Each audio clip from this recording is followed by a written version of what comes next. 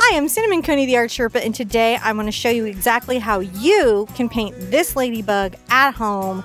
You can do this with your friends, you can do this by yourself, however you want to paint this, but the point is, is I'm going to show you every single step you need to be able to succeed at this adorable four-leaf clover with ladybug. This painting is double lucky. So get your paint, get your brushes, and come back and meet me at the easel right now. I'm going to show you how you can paint.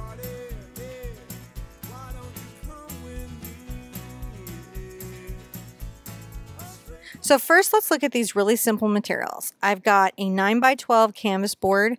This is pre-gessoed, ready to paint. You don't need to do another thing to it. Over here, I have acrylic paint. And I'm going to tell you the very exact colors I'm using, but listen, you don't have to have these exact colors for this particular project. This I have titanium white, I have phthalo green, I have cad yellow medium, I have naphthol red medium, and I have phthalo blue. But remember, for this project, because it's so simple in its color palette, and there isn't a lot of mixing, you can use the red that you have or the green that you have and not be stressed about it. I've got a one inch stiff white nylon brush. I'm going to dip this in my water, but I'm going to drag off the extra water so it's not it's damp, but it's not crazy wet.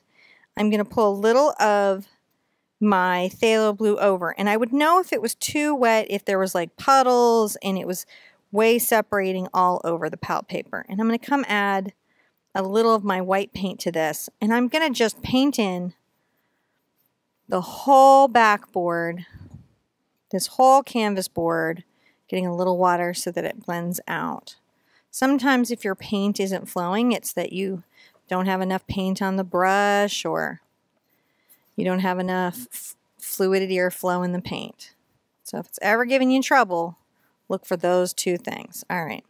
Little water, just a quarter, you know, an inch of the bristles is in the water when I'm doing that. You know, because I'm not trying to soak the brush and just paint the whole background of the canvas blue. I'm going to go back and forth here. I'm just trying to get the whole thing blue. A little bit of water, a bit of white paint, a bit of blue paint, whole thing blue. You can use any brush here that you want that's for acrylic paint. I just like to tell you what I'm using so you know how I'm getting my results because sometimes it's the product, not just the design. I like to get it painted in and then go back and forth like this. Kind of gives me a blended effect. Now I'm going to flip my canvas because I don't want to be working and struggling at the end of the canvas trying to make it work to the bottom of my easel. I want it to be comfortable.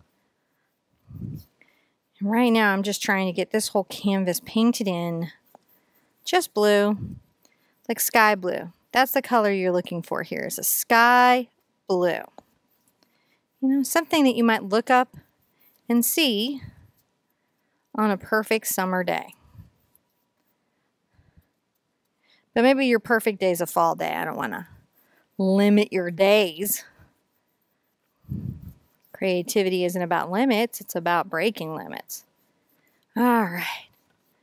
Once I have a nice background on where I'm real happy with the pretty blue finish, you can see when I go back and forth, it just blends it all out make sure it's just covered. That's what I'm looking to do. I'm going to rinse this brush out well, dry it and put it to the side. This is a good time to dry your canvas. I like to dry mine with a hair dryer. You could let it dry with time because acrylic paint dries really fast. And I'll see you back here to draw in the shamrock.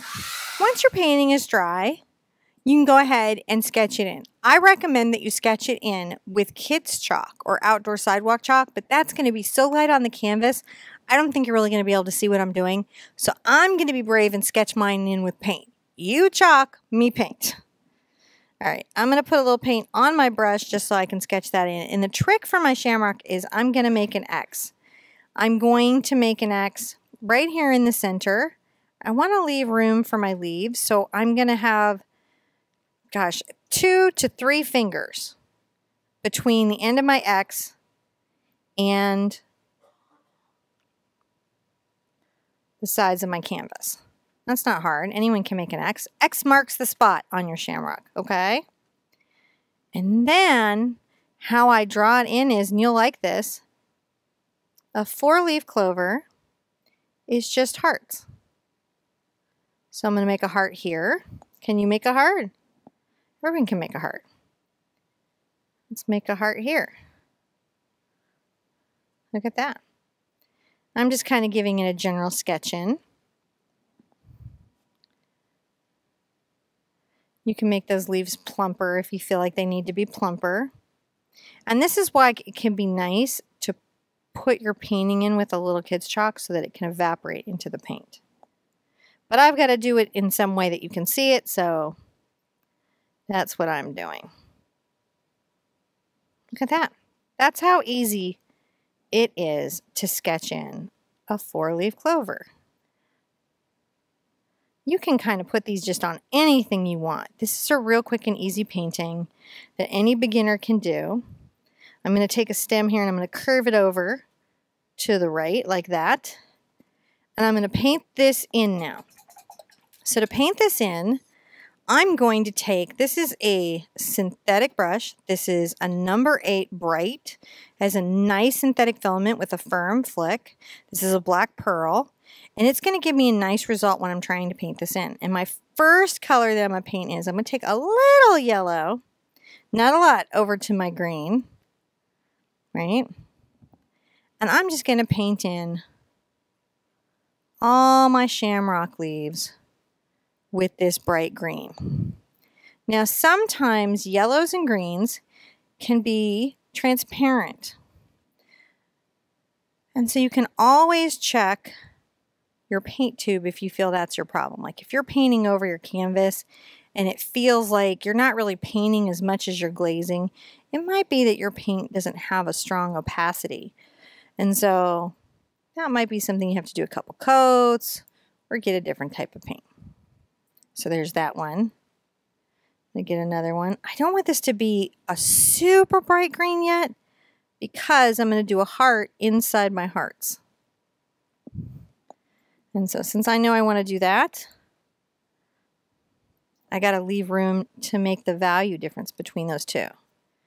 So I'm just painting this in. Just paint in your green leaves. Just have fun doing that. Right? You need a little more yellow, put a little more yellow in there. You want them to be bright and cheerful and optimistic. This is a very lucky, lucky four-leaf clover. And so many good things are going to happen around it. You're going to be so glad you painted it. You're going to be lucky in your painting. So notice how I can come on the edge of my brush. There's two strokes I can come on the wide here but I can also come on the edge. And that's how I can kind of draw. Brushes usually have a couple of strokes. Sometimes they have a ton of strokes, and that's sort of fun to discover. So you can see how it'll go thick and thin, and I can use it on the wide to paint big areas and then take it on its edge if I need to make a delicate, sharp turn.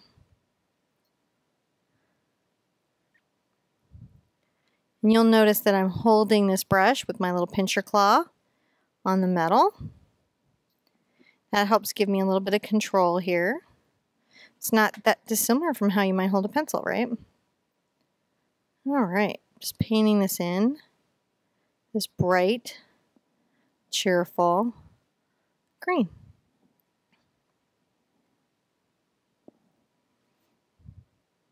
I'm looking here, I just wanted this to be a little chubbier.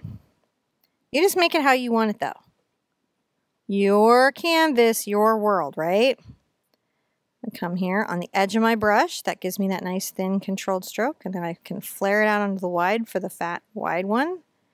Look, and it comes down that nice tapered edge. Couldn't be easier to make these hearts. A regular clover would be three of these. So, but this is a very lucky, lucky shamrock. In fact, it's so lucky a ladybug is going to come land here in a minute once we make it lovely enough to attract her. I'm going to get my little more fluidity in my brush. I just dip just the tip of my bristles in there sometimes to improve the flow. I'm going to come on the edge of this brush. This first pressure is pretty light, guys. Don't press down hard yet. Don't press down hard. But as I'm coming down, press, press, press, press. See how that just naturally created that stem for me. And I didn't even have to work for that, did I? Make sure your edges are pretty. How you like them. And your clover is covering the canvas in a way that you're happy with. It's always good to go around and touch that up. Now, to do the next layer, I'm definitely going to want to have this be dry. So let's dry it real quick.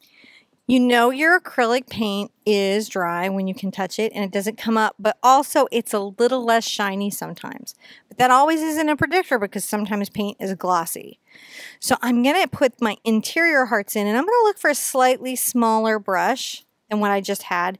And it's to help me make my interior hearts. You could do a number six or a number four. I think I'm to do a number four bright. So see this here? It's also bright. It's a number four black pearl. It has a really nice sharp edge. And that's going to let me do this cool thing. I'm going to pull my yellow paint out into this green I already had here. And look at this bright yellowy green. I'm going to add a little white paint to it for coverage. And I'm going to come right up about an inch and a half and make an interior heart. It's not easy. I bet you just want to go like make everything have lucky clovers all over it. You're like, I'm ready now.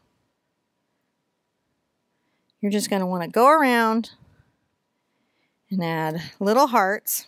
This one's kind of like uneven, so I'm going to make it more even. You know, I'm going to do the same here. that, putting that little clover in. Yellow into the green. So this is just a very bright, you know how sometimes when new shoots come out on off a plant and they're that very bright, delicate spring green. This is almost that color. Perfect for painting.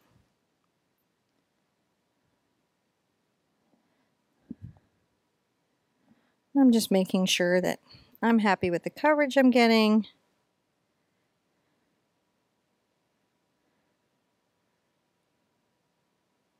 All right. I'll make my next heart. You'll notice that I'm turning my canvas as I'm working. And that's just because I'm always keeping my canvas. Uh-oh, my paint's creeping at my brush. I'm going to wipe my brush off and reload it just back on the edge of the bristles. Take my little heart out. And just paint it in with those bright, bright, bright colors.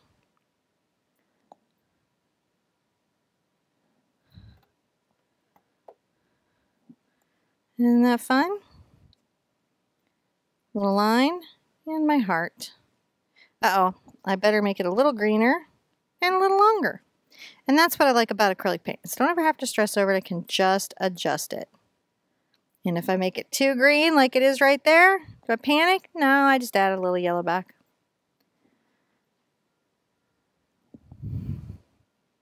There you go. See, not a problem. Just loving that. Now I like to kind of blend the center of the clover out like this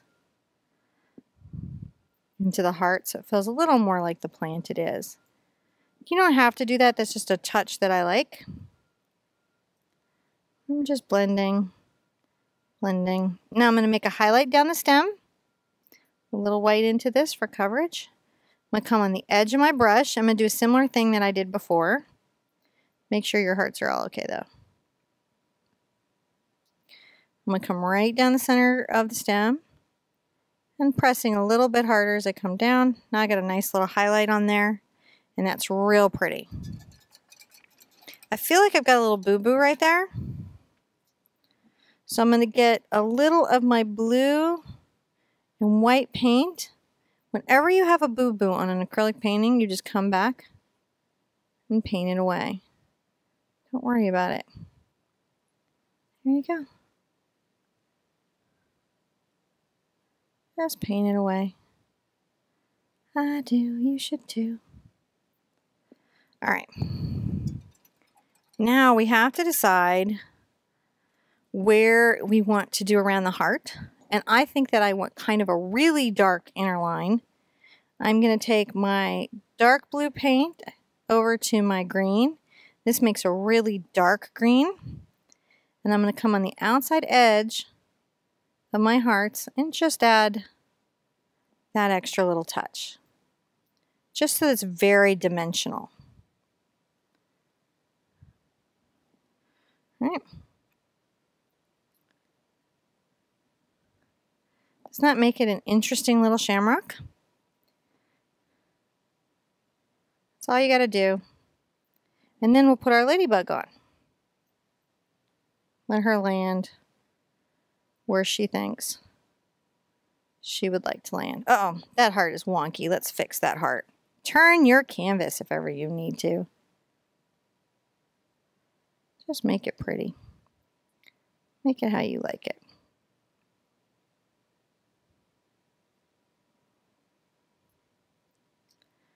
Maybe a little bit of painting right there. So, and you know while I'm at it, a neat thing that I can do, and this is a nice thing, you never thought of it, so I can make a little interior shadow down the stem, but I'm first going to just make this heart look nice. So I'm going to come on the inside here, and there we go. So three-dimensional. So where's our ladybug going to land, guys? We've got a cute little shamrock. It's feeling very, very festive, but for it to be real cute and pretty, it needs a ladybug. I'm feeling like putting a ladybug right there. And how I'm going to do that is I'm going to dry my canvas real quick, making sure I'm not dragging my green paint all over the place because I'll do that. All right, let's put in the little egg shape that's the beetle body for our ladybug. So I'm going to take just a smidge of my blue over to this red and it's going to darken it. Now this particular blue and red make kind of a deep purple. I'm going to come up to the top here and I'm going to make a little smile. It's about an inch across. And then I'm going to pull it up into almost an egg shape. Right? Using the corner of my brush to sort of round the stroke.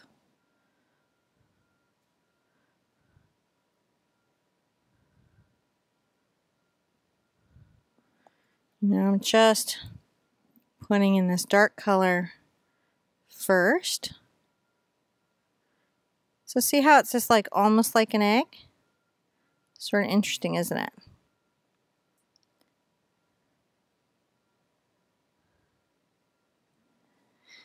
I'm going to rinse that out. And I'm going to dry that real quick. Once that's dry, I'm going to get my black paint. Now, this is a fluid black paint. You could use craft paint or you could thin your black paint with water, however you want to do it.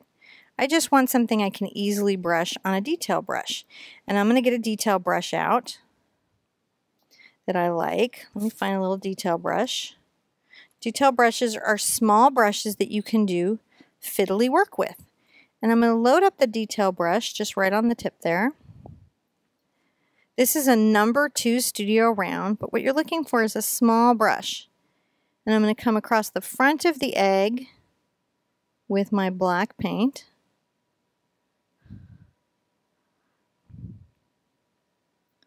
Just come right across the front. And then I'm going to do this sort of interesting thing. I'm going to come I'm going to leave about, let's say about a finger from the back. I'm going to make a line straight in. And then I'm going to curve. And I'm going to go all the way around.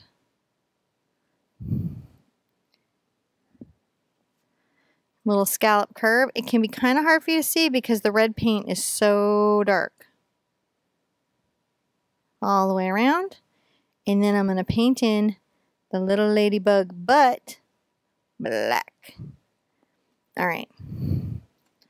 Once I have that painted black, I'm going to get another small, teeny tiny little brush that I can easily work with. And I'm going to put just some red on it. See this bright red? And I'm going to come here on the wing.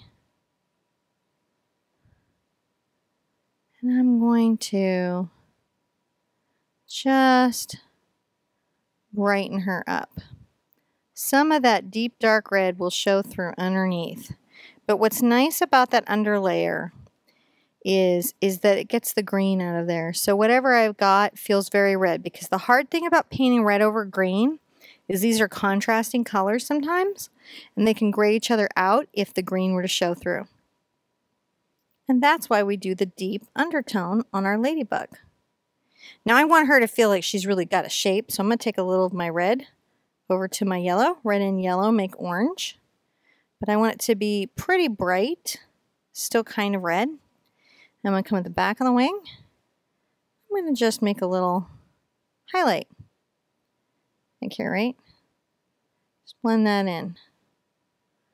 You just blend that in. Little highlight, maybe along there. Just something nice to give her some personality. You know? If you need to add a little extra red to really make it feel red, you can do that. What you're looking for is you just want her to really show. She's fancy. While that red is drying, get your detail brush out again and come back over to your black paint. And what I like to do, I like to come straight out about a quarter of an inch, curve back, and then around. It's kind of like a crooked S. Can you see that? Straight up. Go back. And then around. And then I think she needs a couple little legs. So let's go one, two, three. This one back here is a little bit short. One, two, three. Does she need some dots? She does. So let's make a dot right here. That's a circle. But let's make a small one. Let's make a nice big dot right there. Maybe one here, kind of hiding off her little body. No reason to not be kind of fun. Maybe a little one there. Small one there. Big one right here. Well, that's a nice big dot. She's just feeling fancy. When she's dotted where you feel like, oh, she's the cutest ladybug in the garden, go ahead and rinse out your brush really well and get a little white paint. You can use the white paint you already have out. I'm going to put out some fluid paint. Again, craft paint will work. And I'm going to just press down with the brush and it makes a little drop shape. I'm going to press down with the brush. It makes a little drop shape. Isn't that cute? Doesn't she feel adorable? Now here's a little trick. I'm going to come along the back, make a fine little line where the scallop is, and right up the middle just very gently. So that you can really see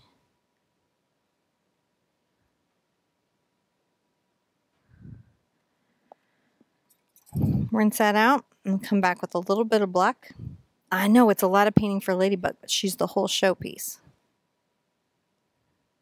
And sometimes that's how we make our painted lines be a little fancier. People might not know how we did it, but those highlights make a difference. Him coming on either side. It trims up the highlight. Doesn't she just pop now? She's so pretty. You can also put a little reflection on her back if you want. Right, maybe like a little, she's a little shiny there. She's reflective. She's doing pretty well. Let's sign it. Where can we sign this in an interesting way? I think along the curve of the stem might be interesting. You don't have to sign the front of your paintings, but it does help people know who made them. Sometimes in art, artists don't sign though. So you know, don't feel like you're ever having to follow a rule in art. Sort of the opposite of what art is about. Just try to find a way to sign that doesn't take away from the painting or your good time.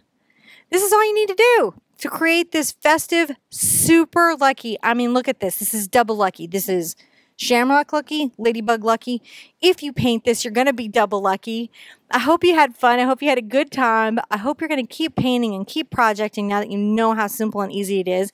I want to see you at the easel again really soon. Take care of yourselves. Bye bye.